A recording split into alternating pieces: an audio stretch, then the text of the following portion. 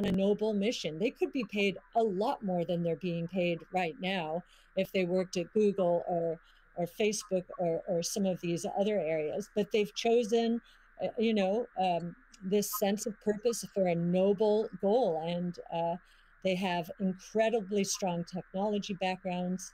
Uh, so, uh, as well as a good understanding of economic history, especially monetary uh, history. Uh, and it gives me a, a, great deal of comfort as I think about the governance of the ecosystem. Uh, much, much more so than I, I think we would find in other financial ecosystems.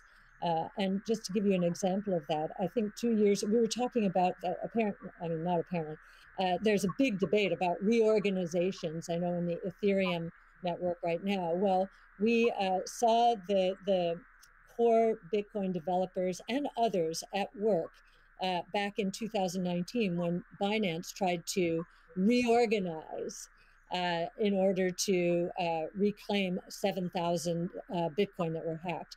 And they just wouldn't allow it. So we've already had some very good tests of the Bitcoin ecosystem, including developers.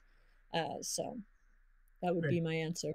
Thank, thank you. Uh, and it's a great transition to the next topic area, which is Bitcoin ethos. And what is Bitcoin ethos? I mean, Bitcoin was born as open source and it's very transparent.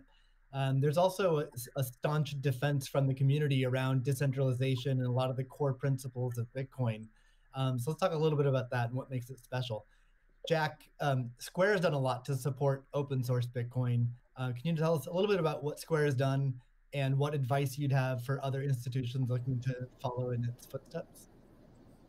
Yeah, I mean, I was I was very skeptical of corporations when I was a kid, and I'm still skeptical of corporations today. And you know, as we've used corporations to be, you know, they, they've been great great vessels for what we need to do and the ideas that we need to bring to the world.